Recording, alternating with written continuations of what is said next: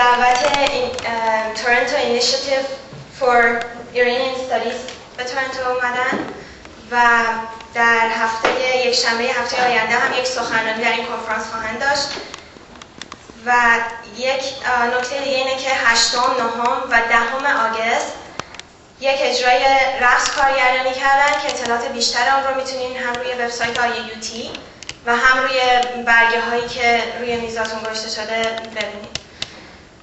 من از آیدا مفتاحی خواهش می‌کنم که بیان و بیشتر در مورد خانم فرزانه کابلی برامون صحبت کنن. خیلی ممنون.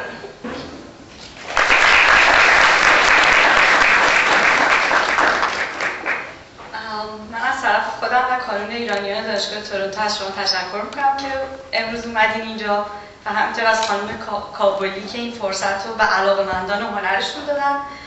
من امروز مفتخرم که استادم خانم فرزانه کابلی رو به شما معرفی کنم. البته باید بگم که ایشون احتیاج به معرفی ندارن چون اغلب شما با چهره و هنرشون آشنایی داریم من سعی می‌کنم گریه نکنم.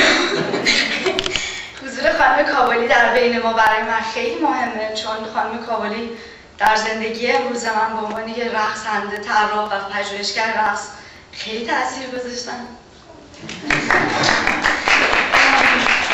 نه فقط با آموزش رقص و حرکت بلکه با عشق و ایسایی که به این هنر و هنر آموزانشون دارن. خانم فرزانه کابلی از شناخته شده ترین هنرمندان رقص ایرانن و نامشان به عنوان زن پیشرو در هنر رقص در کتابهایی مثل سالار زنان ایران و زنان اول اومده. ایشون فارغ تحصیل هنرستان های ملی و محلی ایرانن که قبل از انقلاب سالها به عنوان سولیست گروه رقصندهای ملی ایران در ایران و خارج از ایران به اجرای رقص پرداختن.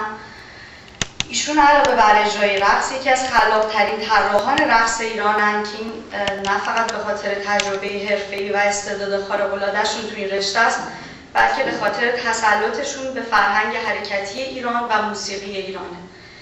همچنین خانم خانم شاگردان زیادی تربیت کردن که خیلی از این خیلی از اینا در, در این رشته فعالن چه در ایران چه در خارج از ایران که چند تاشون امروز توی اتاق داریم. علاوه بر هنر رقص خانم کابلی بعد از انقلاب به عنوان بازیگر در تئاتر سینما و تلویزیون فعالیت داشتن که از آشناترین نقشهاشون برای هم نسلهای من مامول کوچی. یکی از فعالیت ها و دستاوردهای مهم خانم کابلی تلاش مستمرشون در ارائه رقص در اجراهای صحنه صحنه ایران بعد از انقلاب. با وجود مشکلات و محدودیت هایی که برای این هنر وجود داره ایشون موفق شدن که با ادغام حرکت در کارهای نمایشی و تئاتر و اجراهای مستقل رقص با نام حرکات موزون هنر رقص رو در صحنه های رسمی ایران زنده, نگه دارن. این شما این خانم کابلی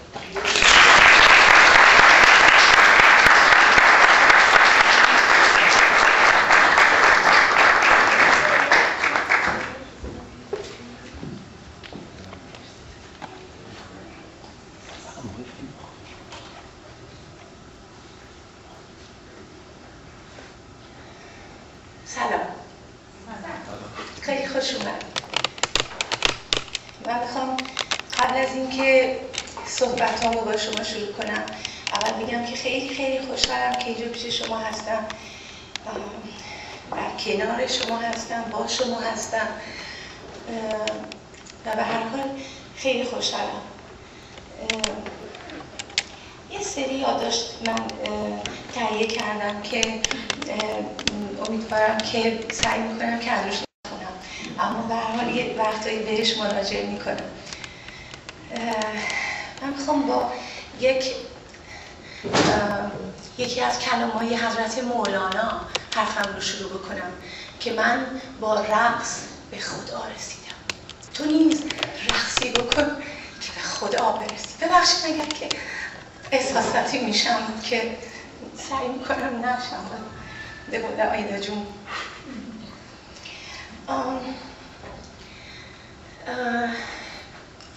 بشر توان در برابر طبیعت و ناشناخته های طبیعت بسیار عاجز بوده و متوسط به آین ها و مراسمی یا سنت های دست می‌زده که تماما اینا به نظر من حرکت بوده. حالا این حرکات شما می‌تونید روی دیوارهای قارها یا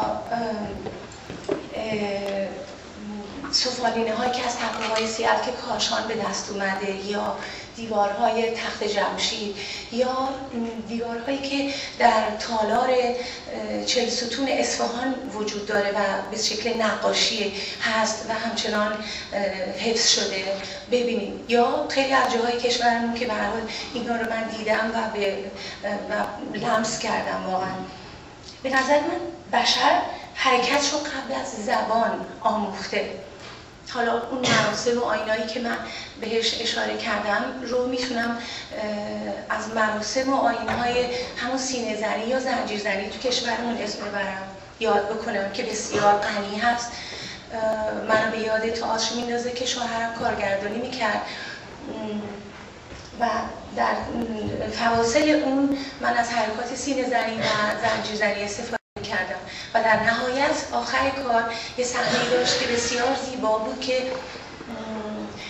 این سینه زنی و زنجیر زنی که حدود صد نفر اینو انجام می‌دادن در تالار وحدت امروزی رودکی قبلی اجرا می شد که بسیار زیبا بود. منتها کمتر سعی کرده بودم از حرکاتی که دیده شده به وسیله همه در خیابونا استفاده بکنم. البته ریشش همون ولی به حال سعی می‌کردم که حرکات رو یه شکل خاصی بهش بدم رو زمین برم بالا بیارم بچه ها رو.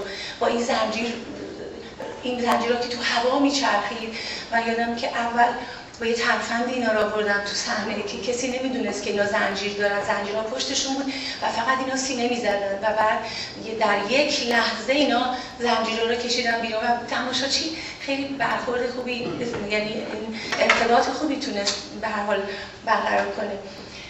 و یا مراسمی که در جنوب ایران انجام میشه که بهش مراسم زار میگن که بیشتر در این استفاده میشه که بیماران رو به وسیله این رقص در حقیقت مداوا می‌کنن. یعنی که باور کنید اینطور یعنی اونا اینقدر اعتقاد دارن که این به وسیله این رقص و این کارو می‌کنیم و این کارو می‌کنیم و بیمارا خوب میشن. شاید تلقینه شاید نمی‌دونم چیه. ولی به هر حال با حرکات خودشون که مخصوص اون منطقه بیماران رو شفا میدن.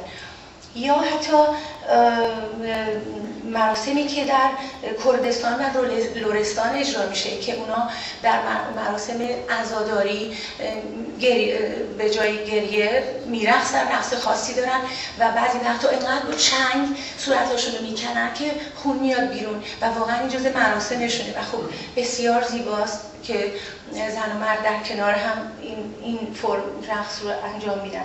یا در شمال خودمون که این رقص ها مثلا یه سنت های خاصی دارن که از کاشت تا برداشت میرقصن. یعنی این مراسم رو اجرا می‌کنن. شاید جالب باشه براتون رقص کاشت برنج رو دارن که این نشای برنج رو می‌ذارن بین سه تا انگشتشون.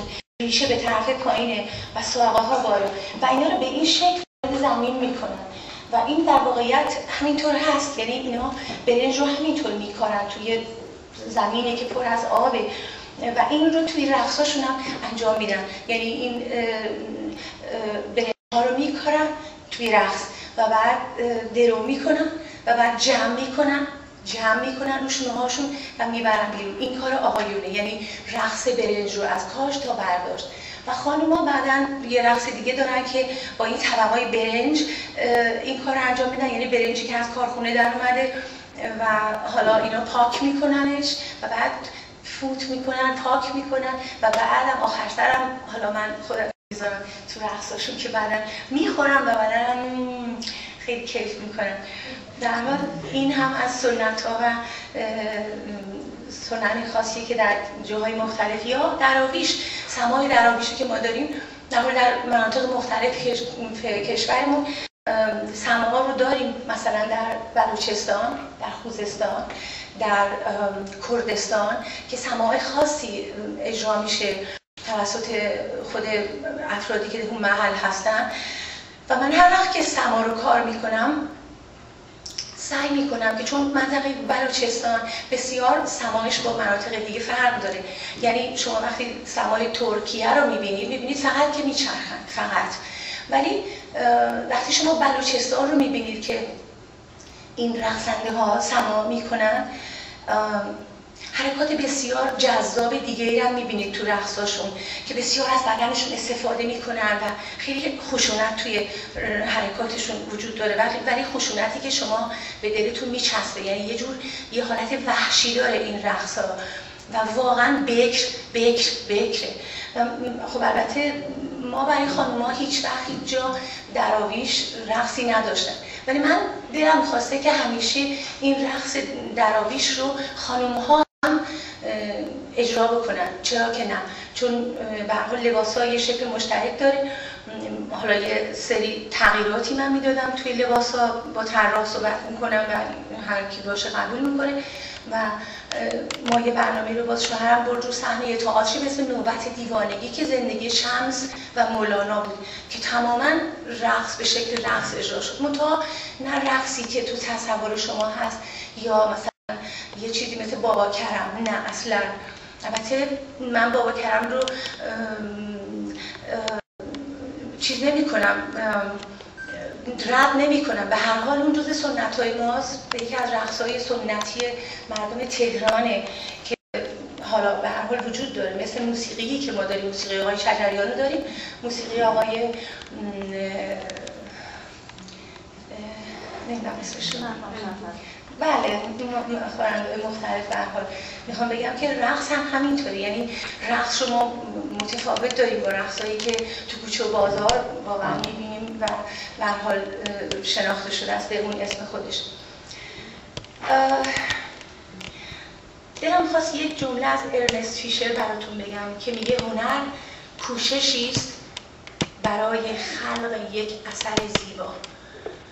که من همیشه سعی می‌کنم یعنی فکر می‌کنم هنر من تو همون به وجود آوردن و خلق اون هنر زیباست روی صحنه همیشه سعی می‌کنم به هر حال حالا تو هر شرایطی که بودم اون هنر به هر شکلی که از من خواسته شده روی صحنه اجرا بشه من سعی کردم به شکل بسیار زیبا و قشنگ از روش ازش استفاده کنم و به مردم اونو قشنگ نشون بدم. مثل همون سینه زنی که براتون گفتم یا در یک از تئاترهای شوهرم ما تجاوز رو بعد نشون می‌دادیم. نمی‌شد. نمی‌شد صحبتش رو کرد و نمی‌شد به اون شکل نشون داد. ولی من رو به شکل حرکت نشون و خیلی قابل لمس بود و تماشاچی تونست ارتباط باش برقرار کنه و به حال اجرا شد. و فقط با حرکت و موسیقی ما این کار کردیم. برای من رقص یعنی زندگی.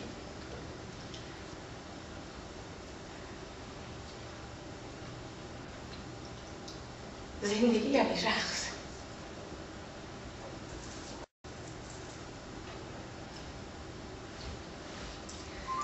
اعتقاد دارم به یه هنر و با اعتقاد ادامش میدم. و فکر می‌کنم که این هنر به نظر من چون رو به بچه ها منتقل کردم. همشون غیر مستقیمی رو فهمیدن و گرفتن و به عقیده من رقص عرضه هنر عرضه بدن نیست.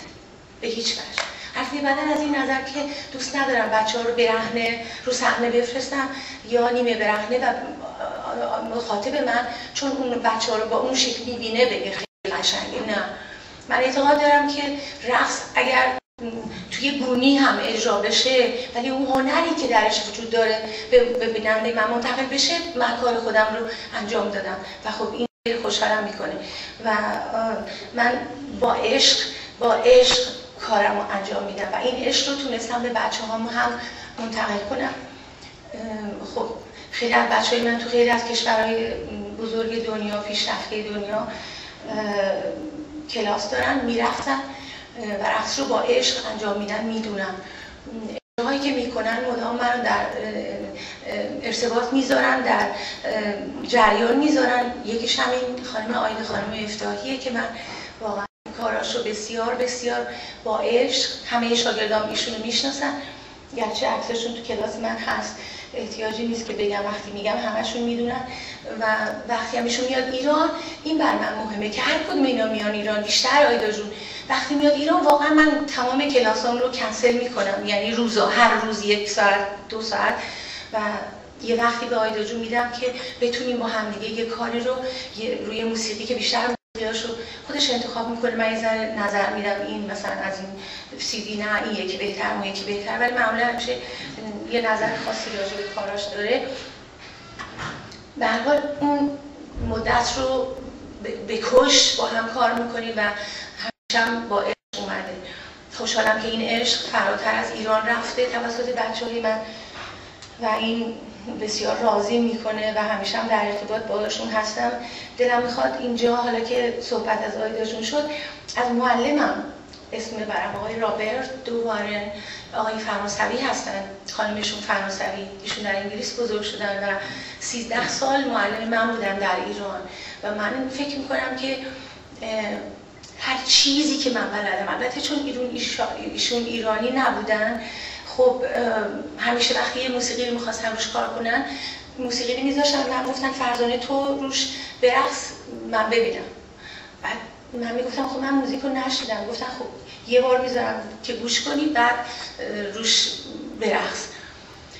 و خب این همچنان به من مونده. من هر وقت که موسیقی رو اصلا نمی یعنی موسیقی یک بار میشنم برای انتخاب که کار کنم روش. ولی وقتی که چندین بار میشنم دیگه ذهنم بهم اصلا هیچی نمی یعنی کاملا پاک میشه از ذهنم حرکت. ولی همیشه موسیقی رو برای اولین بار که میشنوم خیلی حرکت به ذهنم میده و همونجا در همون لحظه طراحی و فوتوگرافی می‌کنم. و همیشه من میرقصیدم و آقای دوباره حرکاتش رو نوت برمی داشتن از روی رقصهای من حرکات من. و بعد روی صحنه که اجرا شد من خیلی ذوق کردم موقع سنی نداشتم البته الان ندارم. ولی اون موقع همیشه گفتم ذوق کردم وای اون حرکت مال من اون فیگور مال منه. اون اون مال من اون من از من نوشتن. اون اون من یادشون دارم و برام اصلا اینجوری بودم. الانم الانم ایشون در فلوریدا زندگی می‌کنن و خیلی خوبه که بازم اینم بگم که چند سال پیش زال و رودابه فردوسی بردن رو صحنه با گروه خودشون یعنی گروه کلاسیک باله کلاسیک خودشون ولی زال رودابه بردن. و هر یه حرکاتی از ما یادشون بود و من همیشه ارتباط دارم به باهاشون این احترام همیشه دارم.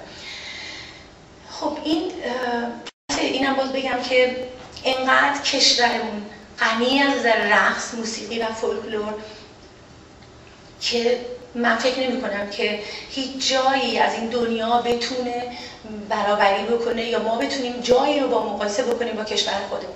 این رو باور کنید برای اینکه نه برای اینکه ایرانی البته مقدارش هم برای اینکه ایرانی هستم و ولی می‌خوام بهتون بگم که بسیار شاید شما ندونید.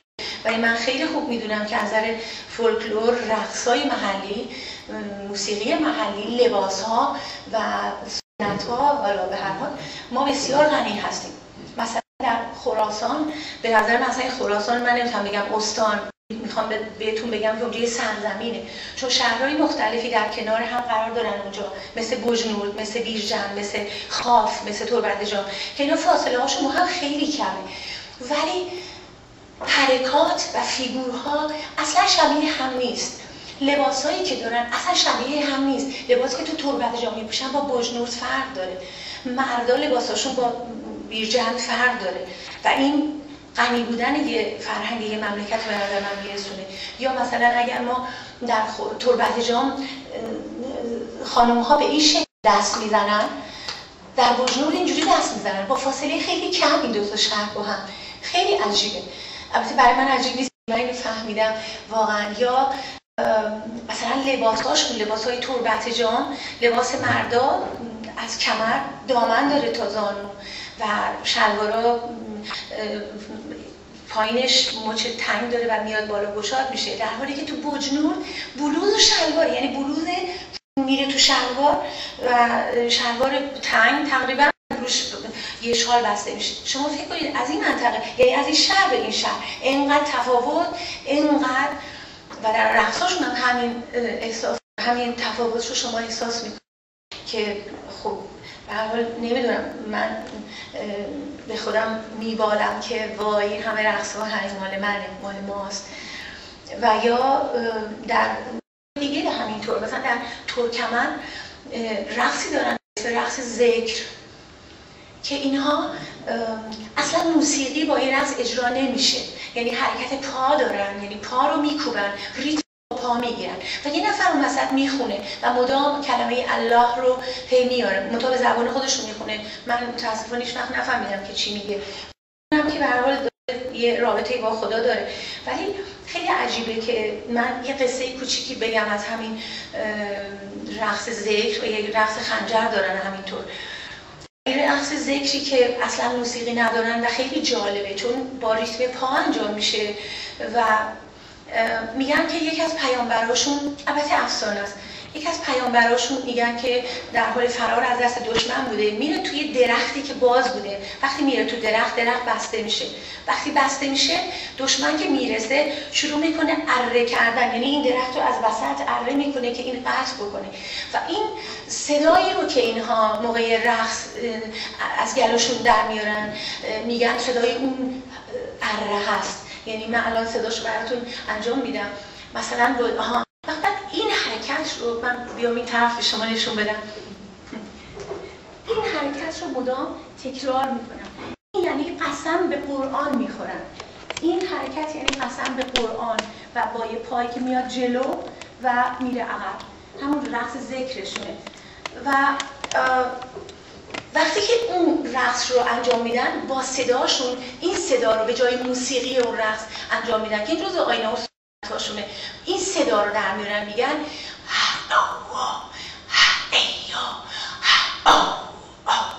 خواننده میگه الله دور میگه و اینا اینقدر این حرکات رو خشن و وحشی یعنی وحشی خیلی خوب انجام میدن که شما تنتون میلرزه باور کنید و بسیار اینا و اون رقصنده ها هم رقصنده های جوون 19 20 ساله هیچ وقت نیستن همشون مثلا رئیس شیلات رئیس دبیرستان رئیس فرهنگ مدیر نمی‌دونم فلان دبیرستان و همه آقاهای چاق و اینا هستن در اون لباسا رو میپوشن و اون کلاه ها رو می‌ذارن سرشون که به حال یه اباحتی اون زرشکی خوشگلی که دارن بهشون میده. یا همینطور بلوچستان بلوچستان که اصلا حالا هم مرز با پاکستان خیلی از حرکات پاکستان اثر گذاشته روی رقصای ما رو فیگورای رقصای ما که بسیار زیبا هم هست. و سازهاشون با سازهای تمام استانهای مملکت ما بسیار متفاوته. یعنی سازهای نشسته دارن. اینا هیچ وقت ایستاده برای که ساز ایستاده ندارن. همه نشسته هستن و از سازهای نشسته استفاده می‌کنن که بسیار صدای زیبایی داره این سازها. و رقص اون منطقه می‌خوام به شما بگم بسیار بکره. بسیار. یعنی دست نخورده است. زیاد هم مردم ایران متاسفانه این قسمت رو رقصشو نمی‌شناسن.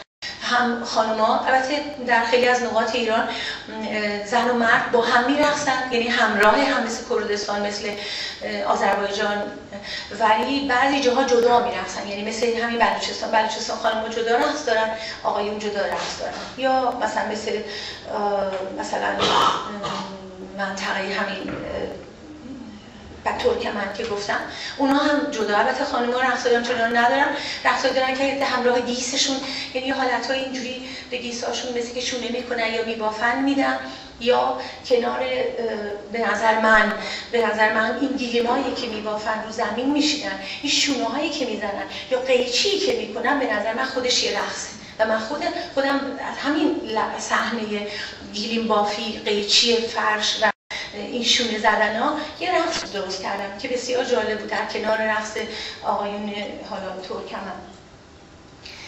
خب حالا از خودم بگم که بعد از خودم بگم از فرزانه کابلی بگم برای شما. من خب هم کار سینما می‌کنم هم تئاتر هم سریال های تلویزیون. البته الان دیگه خیلی وقت تلویزیون کار نمی‌کنم. الان داشتم برای این آقایون و خانمایی که صحبت می‌کردم می‌گفتم سال هاست که تلویزیون کار نمی کنم چون یه ذره نمیپسندم کار کردم تو تلویزیون رو. ولی همچنان به من میگن مادر علی کوچولو. خیلی کار تلویزیون سینما کردم خیلی تئاتر کار کردم خیلی خیلی کار موفق سینما به خصوص. اما باز هم میگن مادر علی کوچولو. به حال بازی های آسیایی بانوان رو در سال 2005 که تماما حرکت بود افتتاحیه و اختتامیش رو انجام دادم که حدود نیم ساعت بود. 150 نفر کار می‌کردن تو زمین, زمین تنیس باشگاه انقلاب که کلش رو خاکاش رو برداشتن و پارکت کار کردن که بچه ها بتونن توش کار بکنن. کار بسیار بزرگ بود. از 46 کشور دنیا آمده بودن ورزشکارای کشور همه دنیا بودن که خب خیلی دوست داشتم کار کار موفقی بود. تو تئاتر معمولا طراحی حرکت می‌کنم. یعنی اگر تئاتری باشه که حرکت نیاز داشته باشه یا جایی باشه که احتیاج به حرکت داشته باشه شوهرم هادی مرزبان حتما از کار من استفاده می‌کنه از کار حرکت. منتها دقیقا می‌خوام فقط بگم که حرکت برای اینکه رقص اون چه که شاید تو شما هست ذهن من برای اجرای در کشور نیست. برای اینکه مثلا به شما بگم. البته مفهومش یکیه. حرکات موضوع بگیم رقص بگیم وشتن بگیم که کلمه فارسیشه. هر کدوم اینا به نظر من همون ریشه اصلی رقص رو داره. اصلا تفاوتی با هم نداره. ولی مثلا قبل از اینکه بیام تئاتر رودکی رو صحنه بود در تئاتر رودکی. زندگی رودکی رو صحنه رفت که قسمت های اعظمش رقص بود. مثلا یه قسمتش کور کردن رودکی. خب قاضی میگه کور کنید نوشته هاش رو بسوزونید شنگش رو آتش بزنید. همه این کارا رو من با حرکت نشون دادم. بسیار قشنگ بود. باور کنید چون خودمم خودم همیشه از خودم جدا می‌کنم وقتی کاری رو درست می‌کنم بر بچه ها و اگه خودم راضی بودم می‌دونم می‌دونم که حتما تماشاچی هم خوشش میاد. ولی اگه خودم راضی نباشم مطمئنا می‌دونم وقتی تماشاچی میاد اونم زیاد استقبال نمی‌کنه. ولی اون کار رو همیشه خودم خیلی دوست داشتم. و برای همینم همیشه تماشاچی واقعا خیلی ارتباط خوبی برقرار کرده بود. چندین صحنه داشت. من همطور که براتون گفتم کوروگرافی رو در لحظه همون فیل بداهه برای بچه ها انجام میدم. هیچ وقت قبلا موسیقی رو تو خونه یا جای دیگه گوش نمیدم که ببینم خب حالا چیکار کنم حالا یه دکوپاژ بکنم بنویسم یا تو ذهنم اصلا. همونجا موسیقی رو گوش میدم و موسیقی همونجا اصلا موسیقی با من حرف می‌زنه. یعنی به من میگه موسیقی الان مثلا باید مثلا این حرکت رو انجام بدی. یا مثلا این حرکت رو باید بری. اینا رو موسیقی به من میگه باور کنید من می‌فهمم حرفشو. گاهی به من میگه نه این حرکت الان نمی‌خوره به این قسمت قلب تو. فوری از ذهنم پاکش می‌کنم. مثلا بهش فکر می‌کنم میگه. فوری از ذهنم پاکش می‌کنم و یه قسمت دیگر رو می‌ذارم جاش برای اینکه مطمئنم که درست میگه به من. و اینجوری طراحی می‌کنم. این نمی‌دونم شاید عجیب و غریب باشه به نظر شما. موسیقی رو همیشه خودم انتخاب می‌کنم. حتی اگر موسیقی به من داده بشه که که من رو موسیقی کار کنم حتما نظرم رو میگم. اگر موسیقی به اون کار نخوره حتما خواهش خواهم کرد که اون کارگردان یا قرار که کار مال اونه به من این اجازه رو بده که موسیقی رو عوض بکنم. شاید براتون این مثال رو بزنم. نمی‌دونم شاید باور کنید.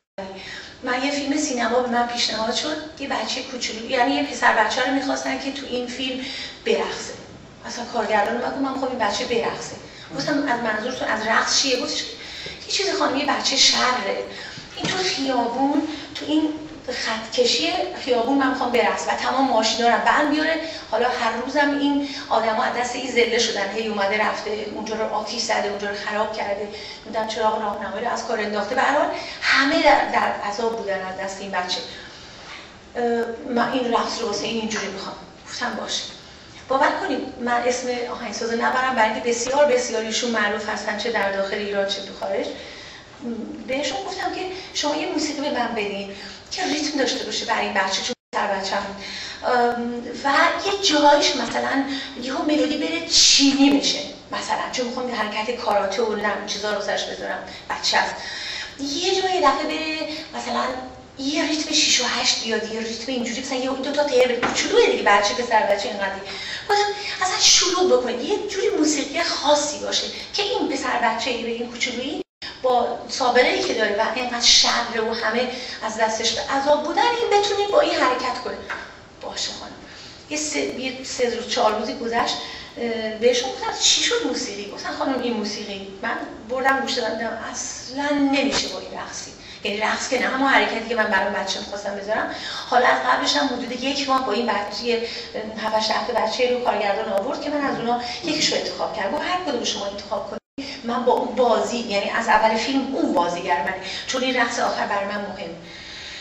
یکیش انتخاب کردم یه صورت خوبی داشت و شیطون بود و چشمای شیطونی داشت. به هر حال این بچه از من آماده می‌کردم از موسیقی اومدم اصلا موسیقی من من بهشون گفتم این موسیقی متاسفانه به درد من نمی‌خوره. خواهش می‌کنم دوباره توضیح بدم خواهش می‌کنم این موسیقی اینطوری باشه اینطوری باشه اینطوری باشه. بله خانم بله متوجه شدم. سه روز دیگه باز یه کاست من من دوباره اصلا شد. گفتم من خیلی معذرت می‌خوام. این موسیقی به درد من نمی‌خوره. چون اونی که من گفتم است که شما یه ذره سرتون شروع بود. نمی‌دونم چی بود. یادتون من چی گفتم. گفتم چی خواستین خانم؟ گفتم این بچه باید شیطونی بکنه. نمی‌دونم شروع باشه. نمی‌دونم من یه فیگورای یه جورایی از یه کارهای دیگه براش بدم. کارهایی که بچه ها به طور طبیعی می‌کنن. و این کلاویه های پیانو رو من این خط کشی خیابون گرفتم. مثلا پاشو بذاری رو این خط سفید یه صدای پیانو میده. من داشتم می‌گفتم که چیکار کن یا رو سیاه می‌ذاره یه صدای نوت مثلا فا بیاد بعد مثلا ر بیاد. بله بله بله متوجه شدم. معذرت می‌خوام. بعد دوباره یه هفته گذشت دوباره یه کاست دیگه. دوباره شنیدم این دفعه رفتم پیش کارگردان. گفتم ببینید مثلا نمی‌تونم با ارتباط برقرار کنم. شما بگین بهشون چون من هرچی میگم باز یه چیزی دیگه به من میدن. بعد ایشون رفتن بهشون گفتن که ایشون اینطوری می‌خوان این خانم فلان. در حال آخر اومدن من گفتن خانم کابری شما برین رقصتون رو درست کنید بعد من وقتی درست شد روی حرکت شما موزیک می‌ذارم. خب نمیشه اینجوری. من من موسیقی موسیقی رو حس بکنم. یعنی موسیقی به من میگه من چیکار کنم؟ من چجوری برم؟ رو البته من حالا رو سکوت هم کار کردم. یعنی که اصلا احتیاج به موسیقی نبوده ولی اون کار کاری نبوده من برم رو موسیقی هیچی رو هوا کار کنم. بعد نه خانم خواهش می‌کنم. شما برید روی همینجوری با این بچه یاد بدید هر چی می‌خوان من روی حرکات این حرکت موسیقی می‌ذارم. دیگه چاره نداشتم. رفتم این حرکات رو به این بچه یاد دادم. باور کنید وقتی من فیلم رو در جشنواره دیدم در جشنواره دیدم می‌خواستم این موها بکنم بریزم در چون اصلا اون موسیقی همچنان با این حرکات این بچه مچ نبود. اصلا به درد نمی‌خورد. هیچ هیچ واقعا. یعنی اصلا یه راست اصلا میشه کارگردان من آدم آرومی نیستم. واقعا همش دارم حرکت کنم بجوشم اینا. رفتم بودم بابا اینم که من همه رو درست کردم که حرکات درست کردم و دوباره که این نمی‌خوره این موسیقی به این رفت. گفت خانم اصلا خودتون رو ناراحت نکنید. برای اینکه همینه دیگه. الان مونتاژ شده فیلم. هم همین الان تو توی جشنواره داره نمایش داره میشه. گفتم پس دیگه به من مربوطی نیست. هر حال منظورم اینه که موسیقی به من واقعا میگه که چه کار کنم. شاید باور نکنید که من تو خیابون تو خیابون یه فیگور به ذهنم میاد. حالا بعضی وقتا شوهرم میگه که بابا تو خیابون ها میگم آره آره می‌دونم تو رو خدا می‌دونم. بذار بذار الان دو دفعه این کارو بکنم. مثلا یه ذره دور برم مواظب میشم که مثلا کسی نخنده بهم حالا باور کنید. مثلا تو یه دفعه این حرکت رو مثلا پاشو میرم همینطوری مثلا به طور عادی که تو ذهنم بمونه. به بعد که تو ماشین می‌رسم دستش رو شروع می‌کنم. دیگه دست میره پایین تر و این حرکت تو ماشین شکل می‌گیره. باور کنید. باور کنید. به محض که تو کلاسم می‌رسم میرم جلو موسیقی می‌ذارم. حالا هر موسیقی که باشه چون بچه ها موسیقی هاشون تیکه تیکه رقصشون یاد می‌گیرم و یادشون میدم و این حرکت رو میخورونم به اون قسمت. برای اینکه ممکنه کم و زیاد باشه بالا پایین باشه اینا رو کم و زیاد می‌کنم اضافه می‌کنم و درست می‌کنم. به هر حال یه دفعه یادمه که تو فرودگاه یکی از بچه ها کنارم بود بچه های خودم یه دفعه گفتم که من می‌تونم به حرکت یاد بدم ذهن تو بدم به نظر بگیرم. و فرض تو فرود گفتم می‌دونم می‌دونم. توی ذره توجه کن. شروع کردم با حرکت رو بهش یاد دادم و اون گرفت. حالا چه جوری یاد دادم که دیگه می‌دونیم چه جوری. بله. و بعدا ازش گرفتم. یعنی ذهنش رو قرض گرفتم و بعد به هم حرکت رو داد. یا رفته بودیم سر مزار عمر خیام. اونجا یه حرکاتی به ذهن من رسید. که باز هم خدا رو شکر این موقع همیشه یکی از بچه هم پیشمه. باز حرکت رو به اون دادم و بعدا ازش گرفتم. به هر حال به نظر من همه جا میشه رقصید در هر شرایطی. در حال یعنی به خاطر مرگ به خاطر جشن به خاطر مراسم خاصی که در هر جای کشورمون یا هر جای دنیا اجرا میشه میشه رقصید من با رقص واقعا نفس می‌کشم. تا اونجایی که بتونم میرقصم. نمی‌دونم شاید اگه مثلا هزار میلیون سال دیگه هم بتونم رو پام بیستم و هنوز بتونم برقصم میرقصم برای اینکه من با رقص نفس می‌کشم. عاشقانه.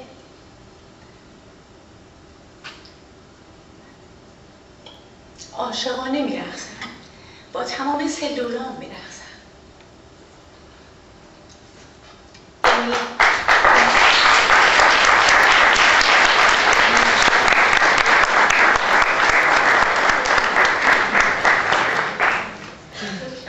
یعنی دنیا سرزمینی غنیتر از کشور ما وجود داشته باشه در مورد رقص و موسیقی و لباس های زیبای محلی یا به حال آینا و سنت هایی که در کشورمون داریم.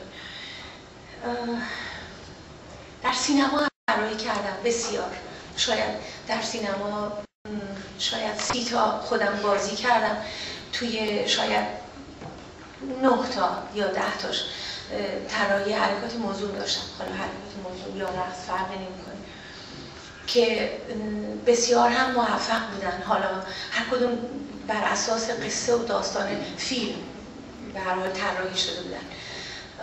الانم بسیار دوباره خوشحال هستم که در جمع شما هستم. از رقص میگم از زندگی میگم میگم از نفسم میگم. و امیدوارم که تو اون سه روزی که این برنامه های بچه ها در ایزابل بعد تیتر اجرا میشه همه شما به یا دوستانتون همه به هر حال تشریف بیارید و ما رو خیلی خوشحال کنید. هم من هم بچههایی که دارن این کار رو انجام میدن که بسیار هم خوب و عاشقانه میرقصن عاشقانه تمرین رو میان. قبل از اینکه بیان به من گفتن شب تعطیل یا روز تعطیل به هیچ وجه بچه ها نمیمونن و من به آیدا جون گفتم که نه ولی من هر روز می‌خوام که بچه ها رو باشون تمرین کنم. آیدا خانم گفت که ولی اینجا سخته روز شب تعطیل روزی تعطیل. ولی باور کنید بچه ها روز و شب تعطیل رو میمونن و تمرین می‌کنن من استراحت میدم باز اونا میرن تمرین می‌کنن. و من دو نفر از بچه های ایرانی رو دارم توی این گروه. یکیش آیا جون هست خانم مفتاحی و یکیش مریم جون هست. خانم زرین پنجه که از امریکا اومده یکی از بچه های من هست که در تهران با هم کار می‌کنیم. در حال بقیه ایرونی نیستن. اما دارن سعی می‌کنن که خودشون رو به این بچه های ایرونی برسونن. سعی می‌کنن. به هر وقتی شما می‌بینید می‌بینید که رقصشون شیرین با نمکه. یعنی به حال اون حالت ها اون ظرافت های رقصنده های ایرونی رو طبعا که ندارن. ولی خب خیلی سعی می‌کنن که خودشون رو نزدیک کنن به این بچه ها به هر حال همشون خارجی هستن. ولی خب ما هممون هممون به خصوص آیدا جون که اینجا خیلی خیلی داره زحمت می‌کشه. من اینجا فکر می‌کنم باید از آرش جون شوهر آیدا جون تشکر کنم. برای اینکه اگر آرش جون نمیذاش آیدا جون اینقدر همش میشه شو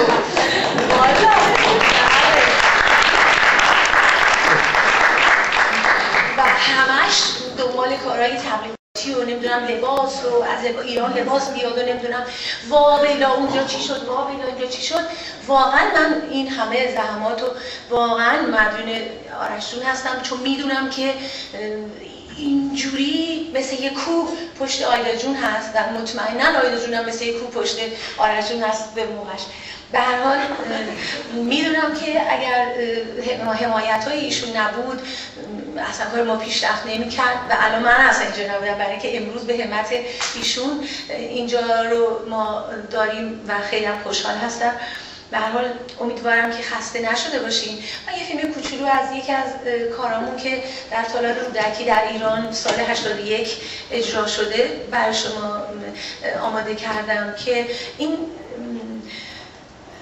های محلی ایران بود که من از هشت استان مملکت روی صحنه بردم و این قسمت آخرشه یعنی فینال من مجبورم توضیح کوچولو بدم که شما وقتی می‌بینید بیشتر آشنا باشید یعنی قبلا آشنایی داشته باشید این بچه ها همه با لباس های خود اون محل یعنی همه با, با, با, با اون محل با لباس های اون محل با یک آهنگ می‌رسن یعنی هدف من این بوده که چون شما از اول ندیدین اسم این برنامه جشنواره آمین بوده. یعنی من خودم دوست داشتم این اسم رو بذاریم برای اینکه خدا رو شکر می‌کردیم که این برنامه اجرا شده. و حالا شما می‌بینید یه زنی از مشرق زمین از آفتاب میاد بیرون و تمام جای جای مملکتمون رو میره و می‌بینه همه به تنهایی دارن میرخصن و شادی می‌کنن و مراسم آیناشون رو دارن. و این زن همه اینا رو می‌بینه. حالا میره به اونا کمک می‌کنه. برای اینکه حالا صحنه ها عوض می‌شده لباس ها رو بچه‌ها میپوشیدن مثلا یه جا من به بنادر ایران که می‌رسیدم مثلا کمکشون می‌کردم تو ماهی گرفتن یا توی مثلا به هر آب می‌دادم بهشون. یه جوری این صحنه‌های بین صحنه‌هامون واقعا زیبا بود. بعد آخر آخر این کار که الان همین فیناله که شما می‌بینید ذهنیت من اینجور بود که این زن حالا که از مشرق زمین از سرزمین خورشید اومده حالا ما مردم خراسان رو داریم آذربایجان رو داریم گیران و مازندران رو داریم همه همه جا همه جا. از بنادر ایران داریم از بنادر به خصوص من از بنادر گلاوه من در گلاوه بیشتر استفاده کردم برای اینکه اون قسمت رو غنی‌تر می‌بینم حرکاتش رو نسبت به جاهای دیگه. به نسبت به بنادر ایران بندر گناور چون هم لباسای بسیار قشنگی داره یا همینطور حرکاتش. به حال از همه جا این زن همه رو جمع می‌کنه میاره و اینا با یک آهنگ با یک موسیقی هر کسی با لباس خودش حرکات خودش رو انجام میده. و آخر در نهایت به یه جایی که شما می‌بینید همه دارن یک حرکت رو انجام میدن اون موقع است که همه ایران رو تشکیل میدن و یکی میشن. و بعد هم تو خود موسیقی هست که یه موسیقی دعا هست که همه حالا اون لحظه هم شما می‌بینید که خدا رو شکر می‌کنن برای حالا سلامتی برای اینکه رو صحنه برای اینکه میرقصیم برای اینکه نفس می‌کشیم برای به حال اون جذابیت های که دوست داریم رو داریم. حالا این قسمت فینال جشنواره آمینه که سال 81 فکر می‌کنم تو ایران اجرا شده. الان با هم می‌بینیم. خیلی متشکرم از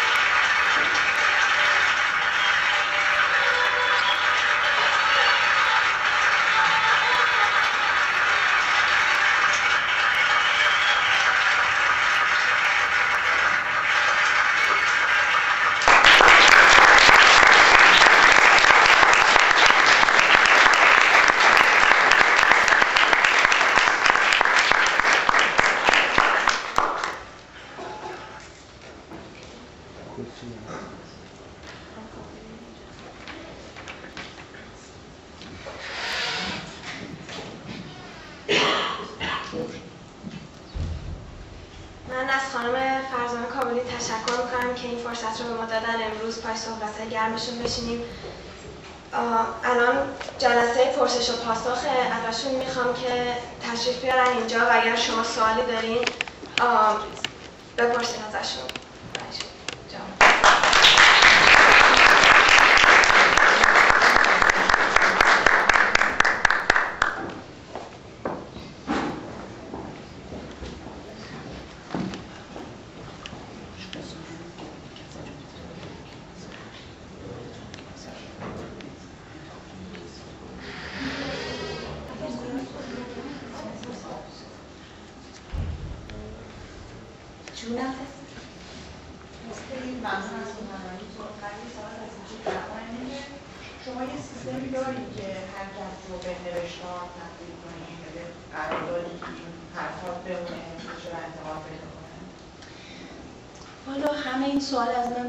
می‌پرسن متاسفانه نه برای اینکه ما حالا تو باله کلاسیک نوت نویسی داریم. یعنی بچه‌هایی که باله می‌دونن همه از روی نوت نویسی می‌تونن حرکات رو حالا مثلا باله ژیزل مثلا هزار میلیون سال پیش اجرا شده. الان که دوباره می‌خواد اجرا بشه اگه اون نوت نویسیش باشه از رو اون می‌تونن باله رو که اون موقع اجرا شده الان اجرا بکنن. ولی متاسفانه رقصای ما نه محلیش ملی که اصلا ما هیچ فیگوری هیچ حرکتی هیچ فیلمی اصلا نداریم. هیچ نوتی هیچ عکسی هیچی نداریم. یعنی من حرکات ملی رو ملی منظورم از این حرکات اینجوری و ندم اینا حرکات ملی ماست. من اینا رو می‌سازم یعنی از ذهنم می‌سازم. یعنی که شاید در عکسای مینیاتوری ما چند تا حرکت خیلی خیلی کوچیک و کم و ناچیز اون هم مثلا حالا مثلا توی دسته خانمی مثلا این سوراخی داره میریزه اون داره جامش گرفته مثلا همین بشه مثلا یه حرکت مثلا رقص مینیاتوری. وگرنه ما هیچ سند یا مدرکی هیچ وقت نداریم از هیچ کجا از هیچ وقت در مملکتمون که بتونیم اینا رو داشته باشیم. و متاسفانه کسی هم بعدا نیومده که به صورت کتاب یا نوشته در بیاره یا حتی فیلم تمام کار رقص رو. همه از من می‌خوان که این کار بکنم. منم واقعا خیلی دوست دارم که این کار بکنم. به وقت کمی وقت هرگز نشده. ولی امیدوارم که این کار رو بتونم بکنم. یعنی باید شرایطی پیش بیاد که من این کار رو بکنم. چون بسیار علاقه من و عاشق انقدر هستم که برم دنبالش و تا اون تهش برم چون یه سری نوت آیدا جون از من خواسته بوده از ایران چون کتابی که وجود نداره که من از اون کتاب براشون تهیه بکنم یا یکی دیگه از شاگردام که در امریکا درس میخون و تز پایان نامش راجع به رقصای ایران بود. من حتی باور کنید لباسای محلی خودمون رو براش کشیدم نقاشی. که این لباس خراسانه حالا این منطقه بجنور این منطقه توبرجام این منطقه من بیرجن یا این لباس ها کردیه. این مال ایل زرینیاس این مال ایل نمی‌دونم. بختیاری. که مال فارس. بله حالا هر جا هر جا. بله بله. من اینا همه رو با عکس یعنی کشیدم براشون. عکسایی که داشتم اگر به دردشون می‌خورد از خودم از اون موقع ها براشون فرستادم که خب قابل استفاده بود براشون. ولی متاسفانه نه. هنوز کار مهمیه و خیلی آگاهی داریم به کل قضیه. بله خیلی بله کاملا درست میگین. کاملا. حالا شاید البته شوهرم همیشه اصرار می‌کنه میگه که اصلا تو خاطرات تو بنویس. حالا غیر از اینکه بشینی رقص رو بنویسی چون من بنازه کتاب اینقدری خاطره دارم که براتون بگم و شما با من یعنی شما رو با خودم ببرم. ولی متاسفانه هنوز وقت و. وقت و فرصتش رو نکردم ولی این بسیار مهمه که رقصای ما مکتوب بیاد آخه چون ما نوت نویسی نمی‌دونیم مثلا من این حرکت رو فکر کنید مثلا می‌تونم با نقاشی با تر به بچه‌هایی که می‌خوان میرن دنبالش یا کتابی رو می‌خوان نگاه بکنن که یا جزوه رو که ببینن خب حالا مثلا برای این رقص مثلا چل ستون یا برای رقص مثلا حالا اسمار که من خودم انتخاب می‌کنم هیچ نمیگم اسمی هست نه هیچی.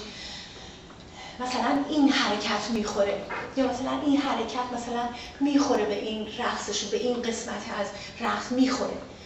می‌دونید اینا رو من باید با شکل یا با نقاشی مثلا نشون بدم که خب این کار خیلی وقت می‌خواد. چون هر لحظه از ذهن من یه حرکتی میاد بیرون. هر لحظه. یعنی با بچه ها که کار می‌کنم مثلا یه حرکت میاد بعد میگم نه نه این مثلا اینجا نمی‌خوره. یکی دیگه در حالی که خود اون یه حرکت درست بوده یه حرکت خیلی زیبا بوده. می‌دونین یعنی چی؟ یعنی در روز من می‌تونم مثلا 50 تا 100 تا حرکت از ذهنم میاد بیرون. اینو به صورت فوری نقاشی یا فیلم یه جوری حفظش کنم که بعدا بتونم یه جوری مکتوبش کنم. شما درست میگید مرسی.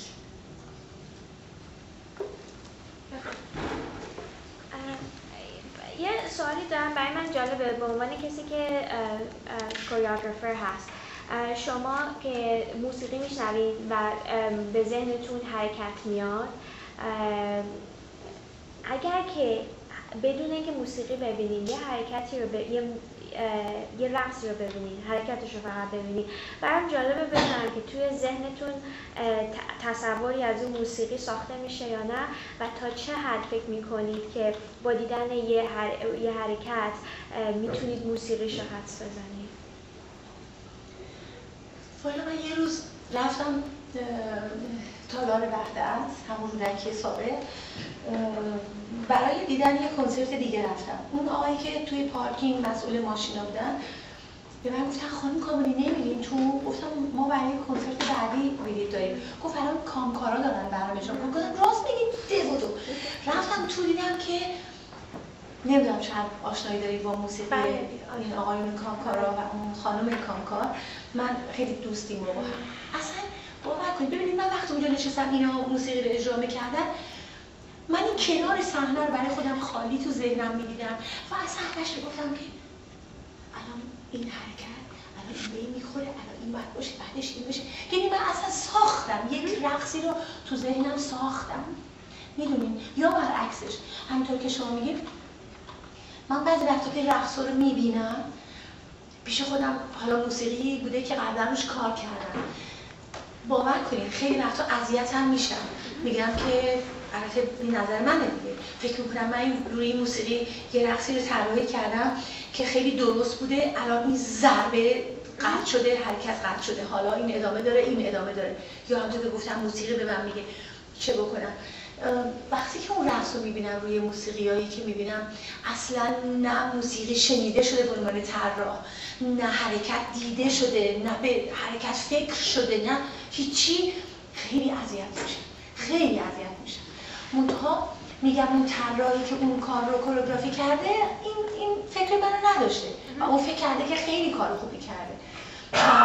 متاسفانه به این لحظه ها هم برخوردم که همطور که شما پرسیدیم که من اون رقص رو قبول نداشتم روی موسیقی ولی یا خودم روش طراحی داشتم.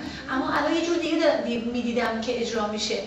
خب فکر کردم که اون طراح به نظرش حتما درست در منه ولی همیشه خودم رقصیدم با اون موسیقی. چه وقتی که موسیقی خالی رو دیدم یا یه دی داشتم میرقصیدم که به نظر من اگر درست بودن یه جاهایشون ها اینجاش درست این حرکت چقدر به این موسیقی می‌خوره. یا یه جایی نه که اینجوری کرده. به نظر شما چه حرکت هایی میشه اسمشو گذاشت رقص چه حرکت هایی رو نمیشه گذاشت رقص؟ مثلا یه سری حرکت هایی رو ممکنه بکنن برای عبادت کردن. که کسی که واقعا این حرکت بهش تعلق داره اصلا به, فکر به خاطر رقصیدن این کار نمی‌کنه. هدفش مثلا ممکن عبادت کردن باشه. یا که مراسم زار ممکنه برای درمان این کار بکنن. آیا ما می‌تونیم به بگیم رقص و اگه بهش بگیم رقص آیا ما می‌تونیم بریم روی صحنه برای نمایش یه چیزی که برای اون آدمی که واقعا بهش تعلق داشته مقدس بوده. اصلا دوست نداشته بود برای نمایش این کارو بکنه. ما بریم اینو برای نمایش یه سری آدمی هم که هیچ ایده ای ندارن که اصلش چی بوده. فقط بیان اینو مثلا چرخیدن یه درویش رو ببینن یا مراسم زار به عنوان رقص نگاه کنن. مثلا این به نظرتون چه البته من دیروز یه رقصی رو با بچه ها کار می‌کردم که سماگونه است. خب بچه ها خارجی هم طبعا یه ذره دور هستن از فرهنگ ما یه ذره نه خیلی زیاد این مدتی که من باشون کار کردم سعی کردم هی بیارم به فرهنگمون نزدیک کنم. مثلا رقص خراسان که باشون کار می‌کنم منطقه خراسان براشون توضیح میدم در کجای ایران گرفته. در اون چیزایی که لازم دارن بدونن قبل از اینکه شروع بشه رقص اصلا اسم رقص رو می‌دونن. سعی می‌کنم لباس ها رو قبل از اینکه بپوشن یا ببینن بهشون بگم لباس ها اینه و رقص اینه اینه علامت مشخصش این رقص خصوصیاتش اینه. اینو هم براشون توضیح دادم. همین دیروز که من داشتم این رقص همین سماگونه رو با بچه ها کار می‌کردم داشتم برای بچه ها توضیح می‌دادم که باید از خودتون بیخود بشین. یعنی فکر نکنین که دارین میرقصین. چون الان این لحظه های این رقص لحظه های این موسیقی یه جوریه.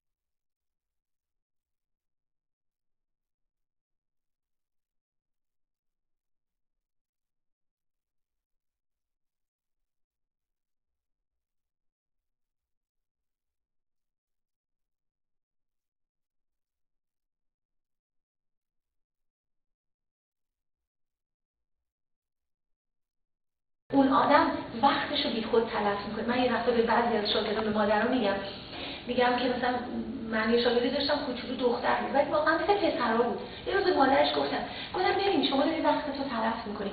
این بچه الان نباید بیاد برای اینکه این اصلا مثل پسراست. یه بذارید بره مثلا چهار سال دیگه اگر دوباره دوست داشت. بعضیشون میگم تو بچه دوست داری؟ برقصی میگم بچه به مامانت بچه رو بردینش مادرش من دوست داشتم برقصم خیلی. ولی چون نذاشتن من برقصم الان دوست دارم که این بچم برقصه میگم اگه من این دوست داشته باشه برقصه این الان من دوست ندارم برقصم ببریدش. و واقعا نمی‌دونم اصلا نتونستم.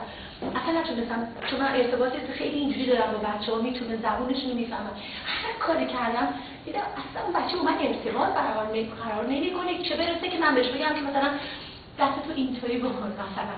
اون اصلا اصلا اصلا.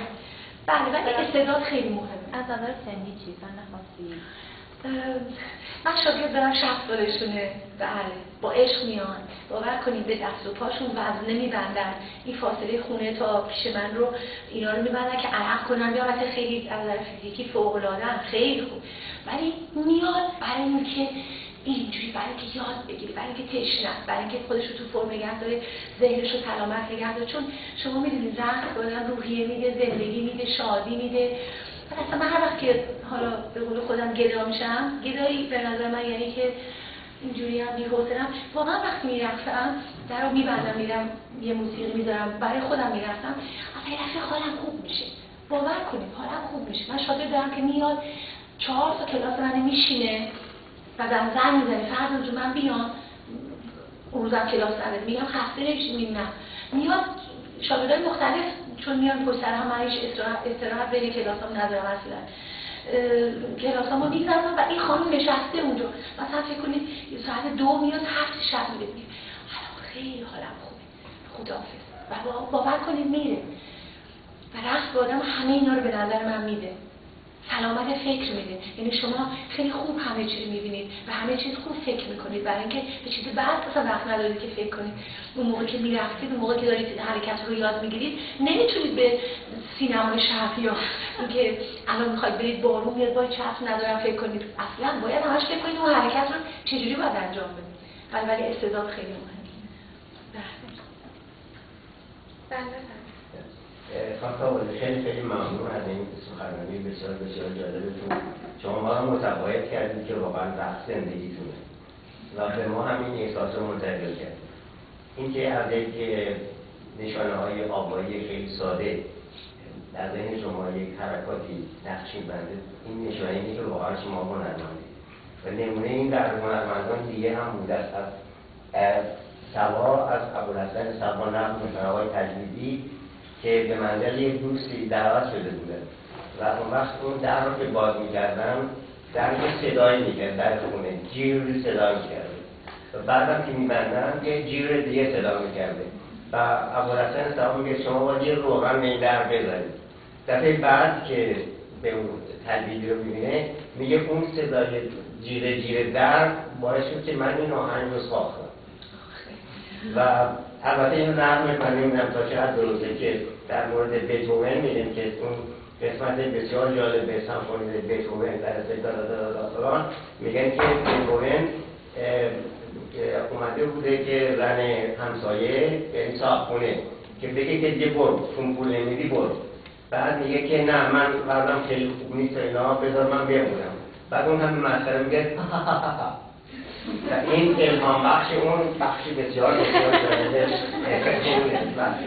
برای من یه دو تا سوالم داشتم اگه اجازه. این که اظهار وجود بود کردم اگر شما اون شعر مولانا رو یادتون میاد که من وقت بود خدا رسیدم این رو اگه شعرش رو یادتون میاد این شعرش رو ما همین یکی کش توی نمایش ما براتون نوبت دیوانگی توسط خود مولانا در آخر کار خونده میشه. یعنی صحنه ما اینطور بود که مردم شهر که همه رفتنده هستن به طرف مولانا نشستن و مولانا میره اون بالا وای میسه بلند. مولانا مونم آقای یارسا یاران بازی می‌کردن که موهای بلند داشتن. اصلا اصلا خود خود مولانا بودن.